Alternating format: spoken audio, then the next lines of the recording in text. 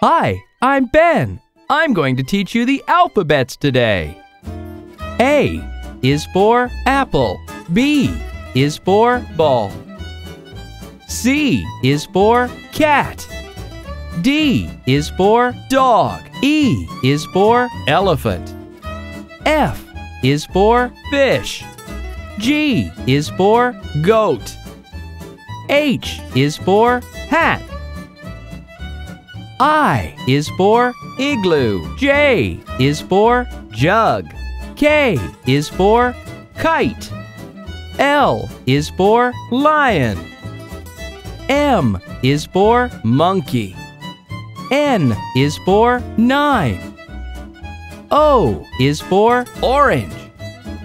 P is for pig. Q is for question mark. R is for rabbit. S is for star. T is for tortoise. U is for umbrella. V is for van. W is for watch. X is for xylophone. Y is for yellow. Z is for zebra.